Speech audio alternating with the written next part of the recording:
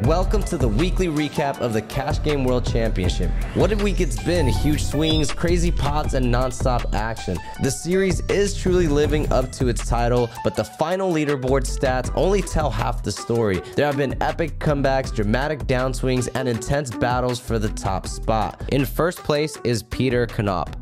Peter's journey this week has been nothing short of remarkable. Starting in the middle of the pack, he steadily climbed the leaderboard, taking the top spot with $101,500 by day 7. Quickly interrupting the program for a giveaway break, guess who's dropping to 4th place by Saturday at 1 p.m. GMT and win $250 in CoinPoker credit? Leave your guess in the comments by Wednesday 1 p.m. Now back to the action. While Peter Knop holds the lead, Absolute Top Up has been a constant challenger. Just $1,450 separates him from the top spot, making him a serious contender to take over at any moment. Absolute Top Up is less than 2% behind the leader. It's truly anyone's game right now. In third place right now is Munistar. He has climbed quietly, flying under the radar for much of the week. He has steadily gained ground, breaking into third place by day 7 with $87,000. His patient and consistent approach has paid off, making him a potential dark dark horse in the championship. Moonistar climbed past Linus Love and, and Prodigy to secure their spot in the top three. In fourth is Linus, who started the week as a dominant force, but after playing an incredible 13,397 hands, he finds himself in fourth place with $86,000. It's a stark reminder of how volatile the Cash Game World Championship can be. Here are four key hands that took place in the Cash Game World Championship Day 6. Our first hand is from Absolute Top Up in the big blind with King 10 offsuit. Blinds are 50, 100, and we see that the cutoff opens to $200. Folds around to Absolute Top Up, who decides to take the aggressive route and 3 bets to 1100. The cutoff calls, and we see a good flop for Absolute Top Up. He flops second pair with a gut shot to a straight. He continuation bets to 563, and now we have a raise from the cutoff. Absolute does call, and the turn brings in a backdoor heart draw. He checks, and now the cutoff bets $3,376. He does make the call, and the river's a complete break. The deuce of spades. He does check to the cutoff, and now the cutoff goes all in for their remaining stack. Absolute Top Up does make the call with second pair king kicker, and he is shown ace king of diamonds for a bluff. Miss Broadway from Matt there. Absolute top up with the hero call. He's playing aggressive, reading his opponent like a book. He is second in the leaderboard of this world championship going into day seven. Our second hand, I would consider our dark horse player, Mun Easy. He's on the button with a pretty hand, Queen Jack of clubs. The cutoff opens to 2x. He does elect to 3-bet in position, and he does get the call for heads up. He flops top two, and it checks to him. He continuation bets for $480. Prodigy does make the call, and we see an interesting turn. It's the King of Hearts, bringing in a potential Broadway or straight, even a backdoor heart draw. It's gonna go check, check now. I like this check in position, and the river is an eight of diamonds. And now we have an interesting bet from Prodigy, an overbet shove, putting Mun Easy all in. And after he thinks about it, he says, my hand is too good to fold here. I'm gonna call. And we see his opponent has ace three of spades for the missed spade draw and he is representing the ace 10 with the ace blocker.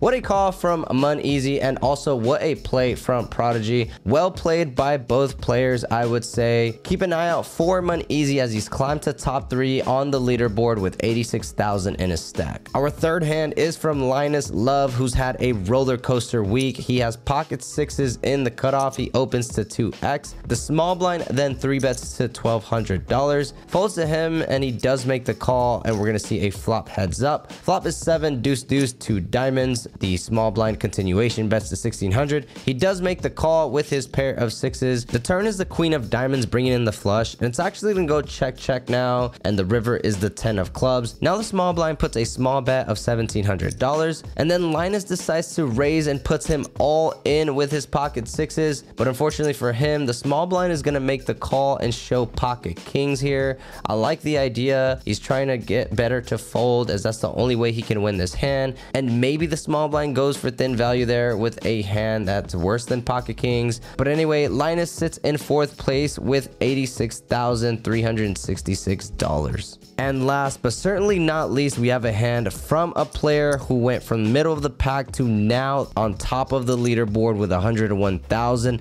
He has pocket sixes in the big blind, and we see that the cutoff opens to 2x. Folds to Peter, and he does make the call, and we go heads up. The flop comes queen six deuce, and he flops a set. He checks to the cutoff, who continues for $122. Peter then check raises to 573, and then we see a three bet from the cutoff to $1,800. Peter thinks about it and does make the call, and the turn's a 10 of spades. Peter now checks, and the cutoff continues to barrel for $4,170. Peter does make the call, and the river's another 10, giving Peter a full house. He does find the check, and Chris does bet $9,325 into 12,000.